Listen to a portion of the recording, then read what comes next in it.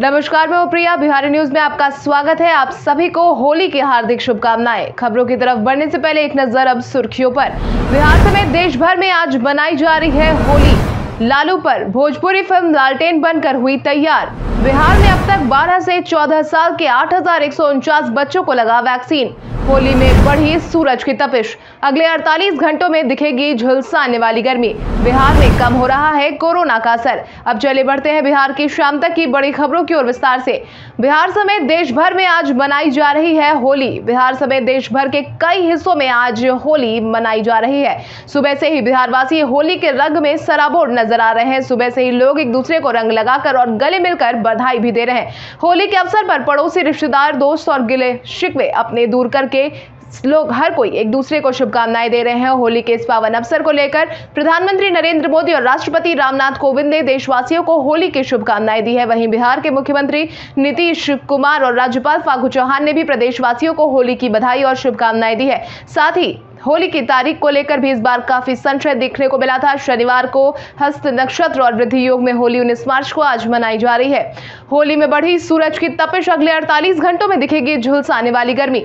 होली के मौके पर इस बार सूरज की मार आम लोगों पर और ज़्यादा तीव्र गति से देखने को मिलने वाली है। आलम कुछ यूँ है कि प्रदेश के प्रमुख शहरों के अधिकतम और न्यूनतम तापमान में लगातार वृद्धि देखी जा रही है। मिली जानकारी के अनुसार बांका में अधिकतम तापमान सैंतीस डिग्री सेल्सियस दर्ज किया गया। मौसम पूर्वानुमान के अनुसार होली के दिन, यानी आज, मौसम विज्ञान केंद्र पटना के मुताबिक 24 घंटे के दौरान प्रदेश का मौसम शुष्क बना रहा है और आसमान साफ़ रहा। प्रदेश का मौसम शुष्क रहने के साथ साथ दो से तीन डिग्री की वृद्धि का पूर्वानुमान भी अगले अड़तालीस घंटे में जताया गया है। ऐसे में प्रदेश का पारा चालीस डिग्री सेल्सियस के पार जा सकता है। ज्ञात हुआ, आने वाले दिनों में सूरज की तपिश बढ़ने से लोगों को थोड़ी परेशानियों का सामना करना पड़ सकता है। ऐसे में मौसम विभाग ने चेतावनी जारी की है कि इस मौसम में स्वास्थ्य पर विशेष ध्यान रखने की ज़रूरत है। लालू पर भोजपुरी फ़िल्म लालटेन बनकर हुई तैयार। लालू प्रसाद यादव की जीवनी पर बनी लालटेन फ़िल्म जल्द ही दर्शकों के बीच में प्रकाशित होने वाली है, क्योंकि लालू पर भोजपुरी फ़िल्म लालटेन बनकर तैयार हो गई है।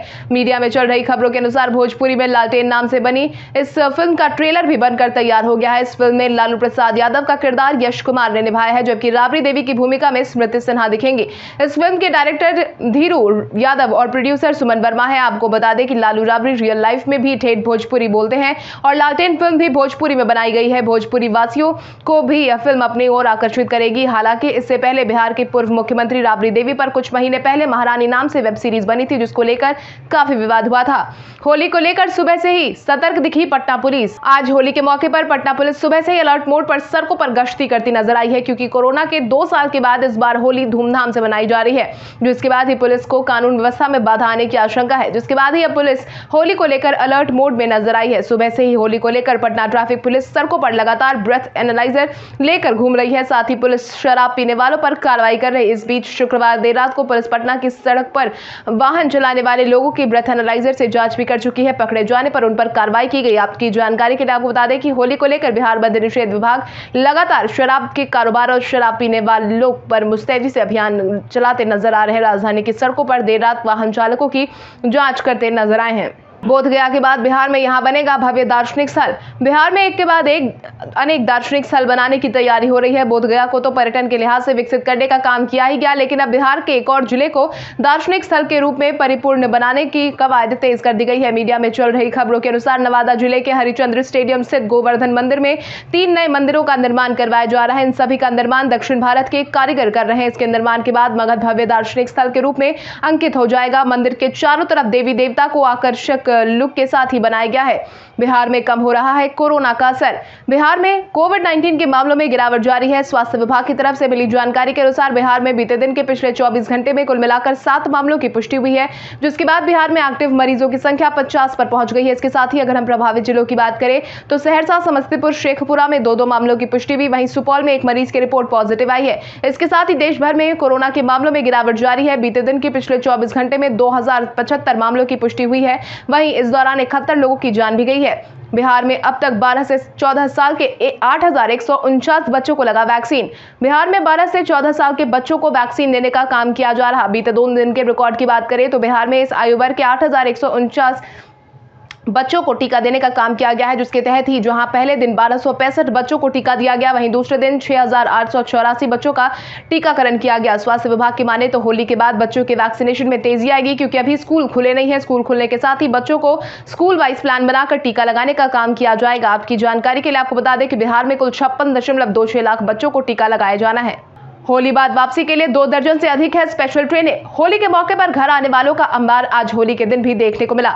दूसरे राज्यों में रह रहे लोग होली के मौके पर घर ज़रूर आते हैं। आज होली का त्यौहार खत्म होने के साथ ही कल से एक बार फिर से घर लौटने वालों की संख्या में बढ़ोतरी देखने को मिलने वाली है, जिसको लेकर ही रेलवे ने अपनी तैयारियाँ कर ली है, जिसके तहत ही बीस मार्च से बिहार से बाहर जाने वालों की किसी भी रेगुलर ट्रेन में सीट तो उन्हें नहीं मिलेगी, लेकिन होली के बाद वापस लौटने वालों की सहूलियत को ध्यान में रखते हुए कई होली स्पेशल ट्रेन का परिचालन करवाया जा रहा है, जिसके तहत ही Patna, Delhi AC superfast Gatishakti festival special express Patna Amritsar AC superfast Gatishakti festival special express Patna Durg Holi festival express और Jogbani Anand Vihar festival special express जैसी ट्रेनें शामिल है।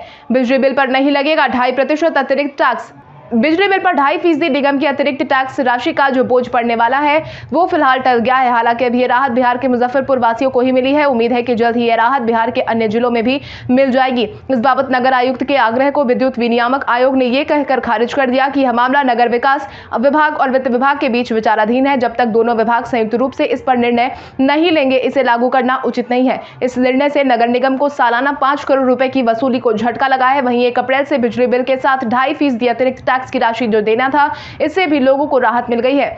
बिहार सरकार के मंत्री ने राजद पर किया कटाक्ष। विधान परिषद में विभागीय बजट भाषण में राजद के चुनाव चिन्ह लालटेन पर ऊर्जा और योजना एवं विकास मंत्री विजेंद्र प्रसाद यादव ने खूब तंज कसा।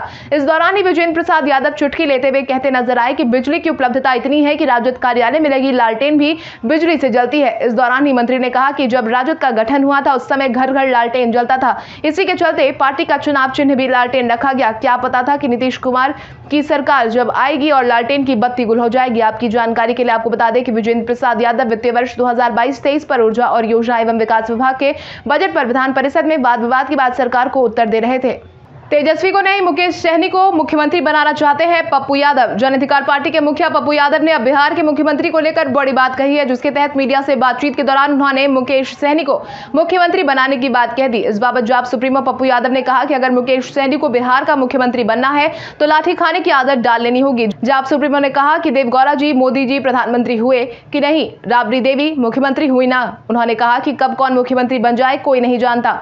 कि तारकिशोर जी और रेणु जी भी उप मुख्यमंत्री हो जाएँगी। साथ ही तेजस्वी यादव पर निशाना साधते हुए पप्पू यादव ने कहा कि राजद जो पिता को नहीं जानता हो, परिवार का नहीं पता दूसरे की बात करे, वो उनकी सोच है।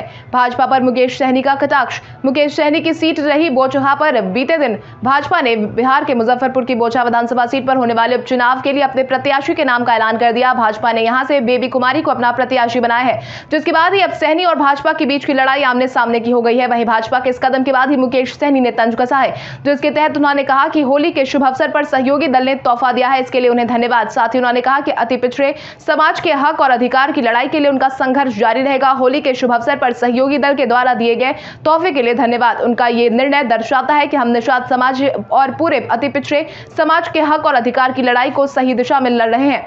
मुखिया जी, इकतीस मार्च तक सार्वजनिक कर दे अपनी पूरी संपत्ति। बिहार में पंचायत जनप्रतिनिधियों को हर हाल में अपनी संपत्ति सार्वजनिक करना पड़ेगा। अपनी संपत्ति का ब्यौरा नहीं देने वाले मुखिया और पंचायत जनप्रतिनिधियों की अब खैर नहीं।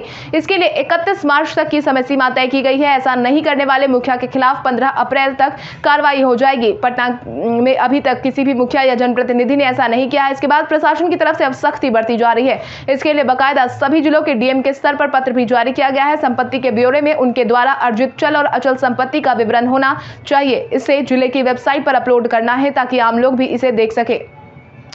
कपिल शर्मा ने फ़िल्म के लिए लिया डिलीवरी बॉय का look. Comedy king Kapil Sharma, इन दिनों नंदिता दास की फ़िल्म ओडिशा भुवनेश्वर की शूटिंग कर रहे हैं। इस फ़िल्म में वो एक फ़ूड डिलीवरी राइडर का रोल प्ले करते हुए दिखाई पड़ेंगे। शुक्रवार को कपिल शर्मा के एक फ़ैन ने ऑरेंज टी शर्ट पर उनकी फ़ोटो शेयर की है, जिसमें वो बाइक पर बैठे हुए नज़र आ रहे हैं और उनकी बैग पर फ़ूड डिलीवरी वाला बैग है। शूटिंग के दौरान ही उनकी फ़ोटो शेयर करते हुए एक फ़ैन काफ़ी एक्साइटेड नज़र आया। उसने ट्विटर पर लिखा, जी, मैं आज आपको लाइव सर जी, मैं आज आपको लाइव देख लिया।